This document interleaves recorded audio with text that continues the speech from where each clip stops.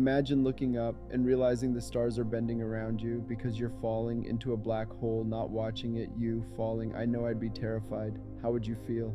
Welcome back, critically evolved cosmic wonder family. I'm Kyle. Let's dive in. Your heartbeat slows. The universe around you stretches like taffy. Every second feels like forever.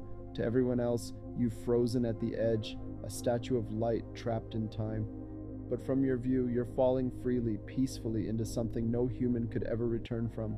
Space twists, time folds, you can see the entire history of the universe in a single instant, and then you're gone, not destroyed, absorbed, your atoms, your memories, woven into the fabric of space-time itself, and somewhere out there, your energy still exists, rippling through the cosmos. Maybe falling into a black hole isn't the end. Maybe it's the beginning of something we can't yet comprehend. Share this with someone who's not afraid of the unknown. Like me, most have slight fears of the unknown. Comment below would you take the fall be just to see what's on the other side? You're watching Critically Evolved Cosmic Wonders. For more, subscribe. Deuces.